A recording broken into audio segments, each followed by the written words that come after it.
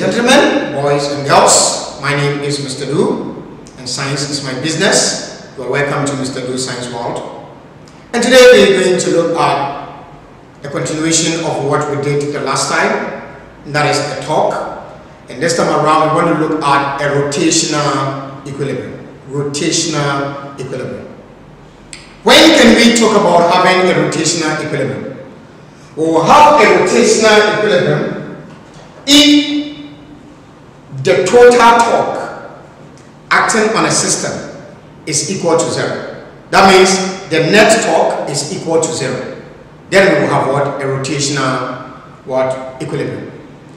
If it happens that it is a two-dimensional, then we expect that there should be a clockwise and a counterclockwise what? Torque. And in that case, we will confidently say that what? Therefore, the system to be in a rotational equilibrium, then the total counter torque must be equal to the what? The total clockwise torque. That means that, what am I saying? All what I'm saying is that here, we're dealing with the rotational equilibrium.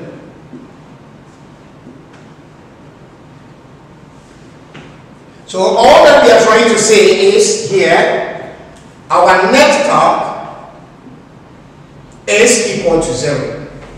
And if it happens to be in two dimension, then we expect that the sum of the torque in a clockwise must be equal to the sum of torques in a counterclockwise. In a counterclockwise. Right. So once we are able to have this, then we can say that what? The system is in what? Is in a, a rotational what? Equilibrium. It's in a rotational equilibrium. Let's try and apply these conditions in solving problem. So let's look at question number one. Let's try and see. Okay. So there is a question here that says a 6.0 meters uniform beam of mass 32 kg is suspended horizontally by a hinged and, and a cable. A 93 kg object is connected to one end of the beam. What is the tension in the cable? So here, let's try and give a pictorial view of the question. Let's give a picture of what the question is asking us for. And let's see how we can then tackle the problem. So we can see that there is a hinge here. And from the hinge, we are having a beam attached here. Now, there is a tension from here to here. Tension is holding that. And now, this tension is at an angle of 48 degrees here. And we can see there is a mass or a mass here, and that mass is 93 kg. The distance between the point where the cable is to the fixed point, the distance is given, and that distance is given to be 4.0 meters. 4.0 meters. And we were told that the length of the beam, in the question, the length of the beam is 6 meters. That is what we were told. And now we want to find the tension in this cable. To find the tension in this cable, what we need to do, remember that the cable tension that is in it, tension is also what? A force. It's a type of a force.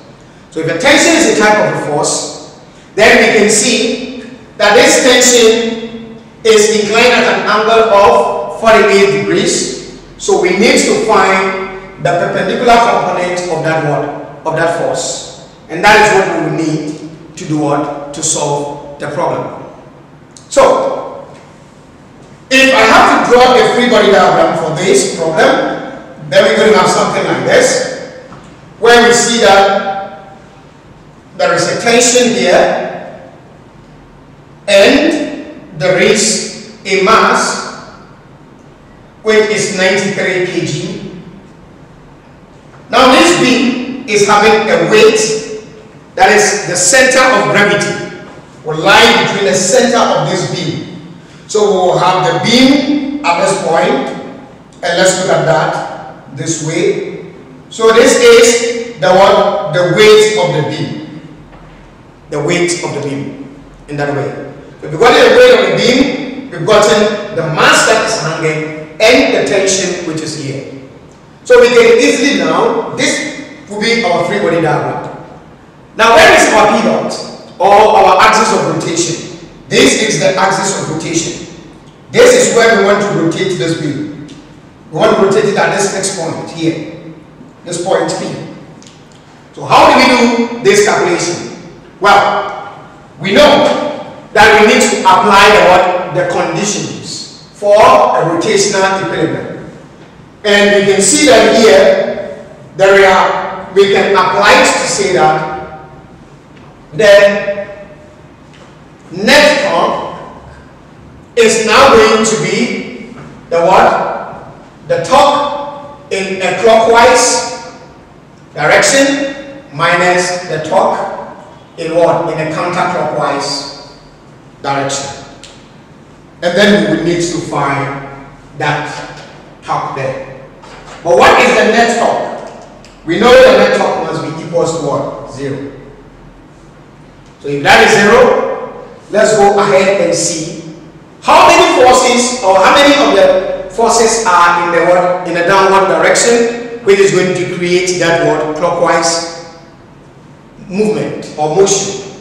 That is the weight of the 93 kg and that of the what, the weight of the beam. So we will say that that is going to be the weight of the load, the FGL plus FGB minus what? Minus the what? The, the, the top. Sorry, the tension. The tension there. Good. Now the tension is at an angle, so we need to resolve that because this is what? 48 degrees. So for me to do that, we will then do the substitution say 0 is now equals to the load is what? M, the load is mg, right? So if it's mg, m is 90 and g is what? Is 9.8. So that is going to be 93 multiplied by 9.8. And now we need to multiply it by the distance. What is the distance? Sorry, so here is multiplied by distance distance the distance. Okay, good. So we multiply each of them by the distance. So this is multiplied by the distance. What is the distance for the weight? The weight is here, and that is from here to here, which is what? 6 meters. So that is 6 meters plus the what the weight of the beam is mg page. And what is the beam? The beam, according to the question, what is the weight? Let's look at the beam. The beam is 32 kg. So if it is 32 kg, then we are going to have 32 multiplied by 9.8 multiplied by the distance. The whole beam is 6 meters. And we know the weight is centered in the middle of the beam. Therefore, the distance then is going to be what? 3 meters. Minus the tension. The tension should be the perpendicular component of that. So that is going to be what? T sine what? Sine 48 degrees. Okay, and sine 48 multiplied by what? The distance from that tension there, and that is 4.0. So we're going to multiply that by 4.0. Multiply by 4.0. Okay. Let's take our calculator. Let's work out, then we can find the what? The, the tension. We can find the tension. So we're going to have 93 multiplied by 9.8 multiplied by 6. And this is going to give us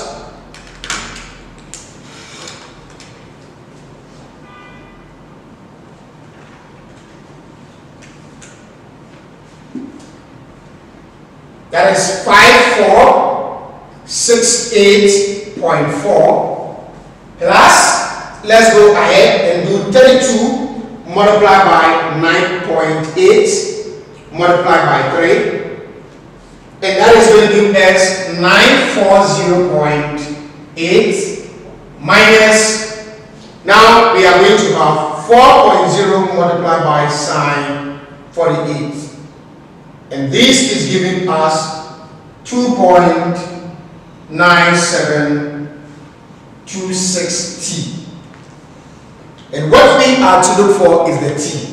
So let's try and transpose that there. 2.9726t is now equals to 5468.4 plus 94 0.8 and this is giving us 6409.2 okay so now what we need to find is the t from this point here. So we divide through by the 2.9726 so our t is now equals to what is going to be? Is going to give us our 6409.2 uh, divided by our 2.9726.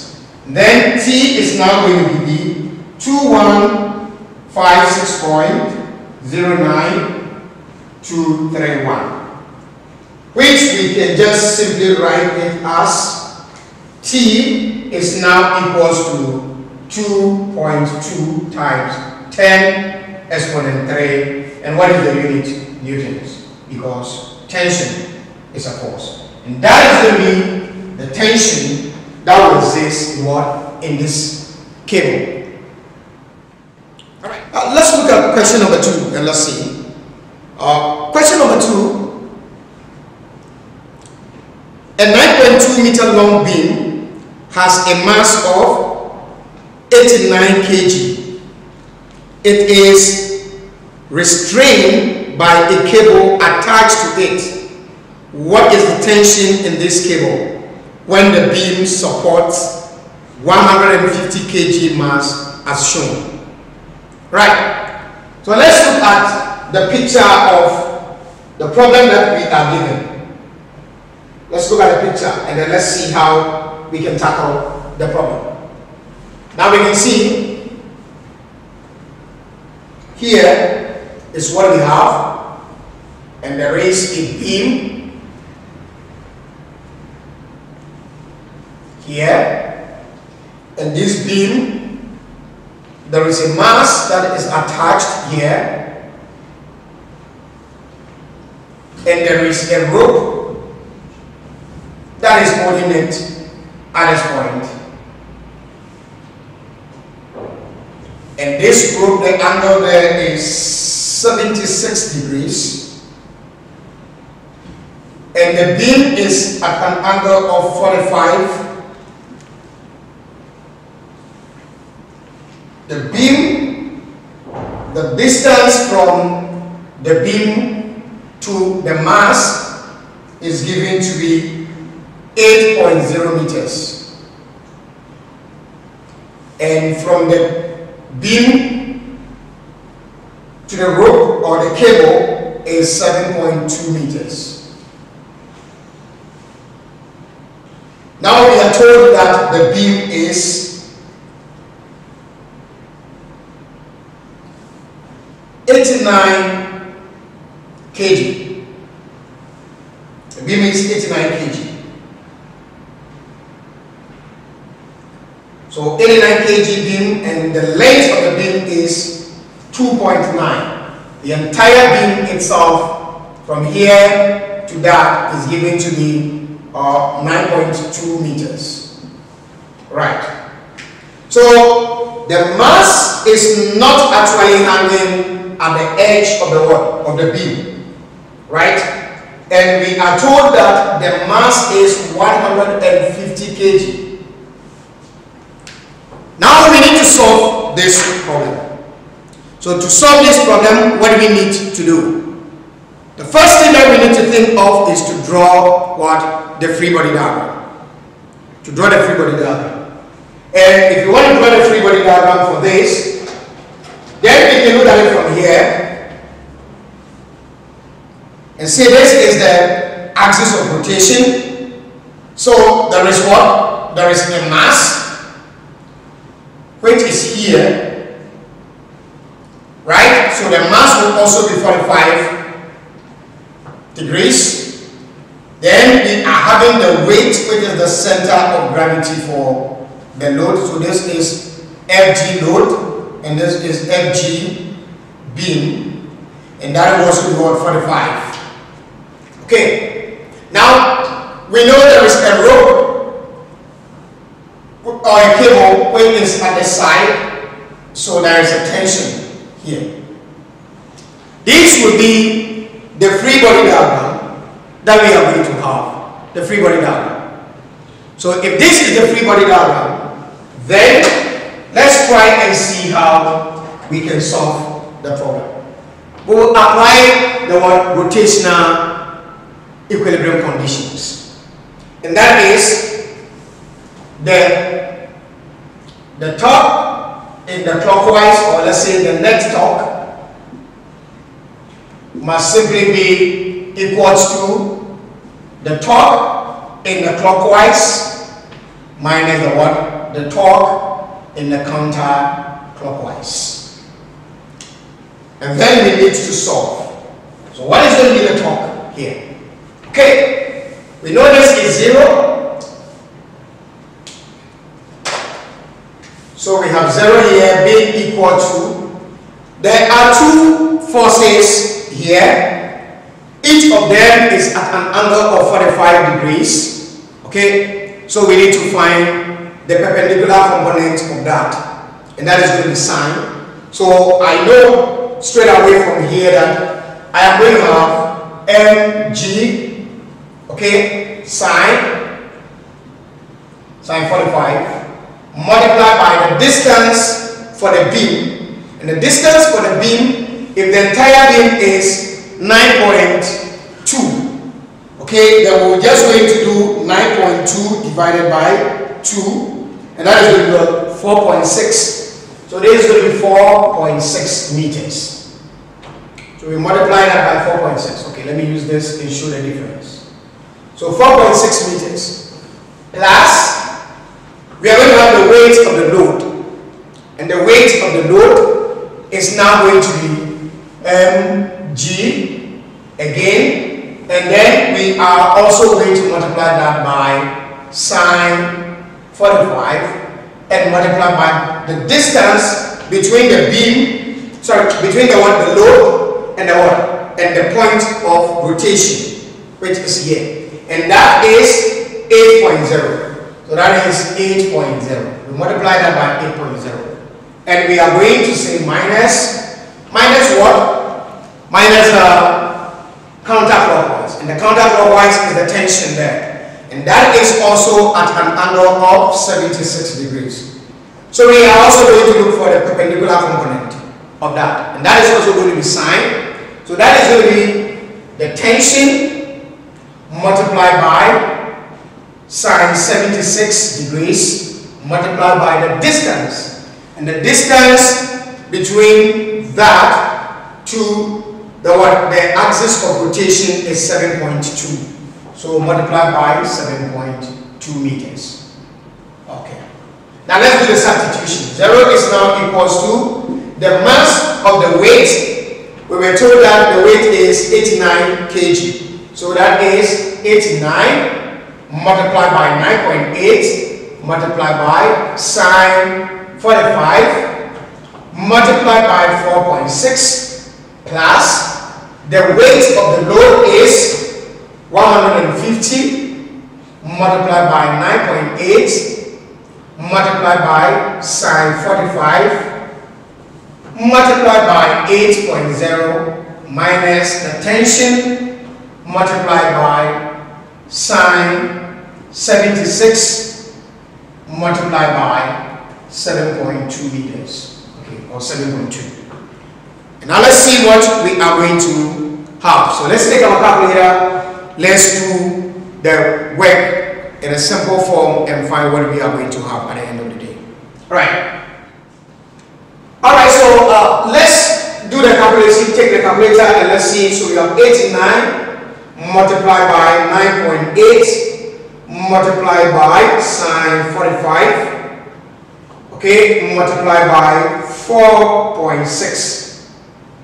So we multiply all that together.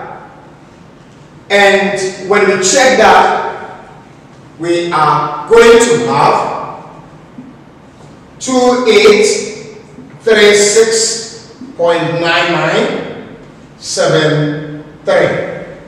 Plus let's work that out 150 150 multiplied by 9.8 multiplied by sine 45 multiplied by 8.0.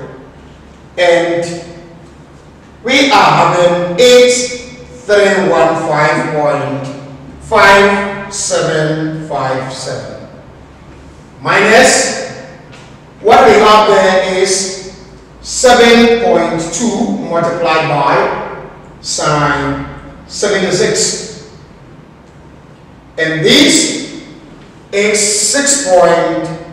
9861T.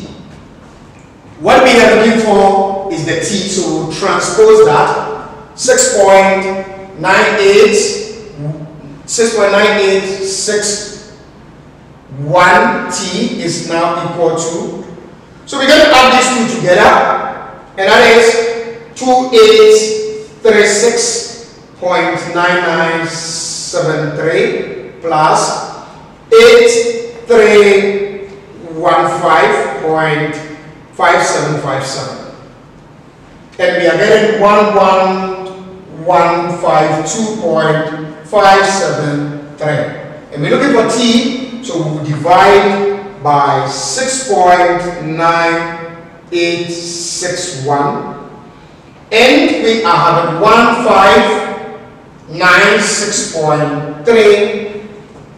1596.3947 newtons which is just simply going to be 1.6 multiplied by 10 exponent 3 newtons. And this becomes the tension in the cable.